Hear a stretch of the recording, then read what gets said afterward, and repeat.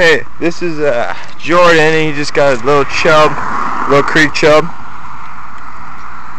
Not a little one, dude. That's a big sucker. It's actually a nice creek chub. You really got that hook down, though. Yeah, you need to use smaller hooks. It's fishing off the Coon Creek right here. Dude, he's bleeding. It's a nice one. It's a pretty That's what they are. They're little schools of creek chub. Fast little sucker. Bye bye. Oh, right back under the weeds. oh, he's um, dude. Yeah, he swallowed the hook. no, dude. All right.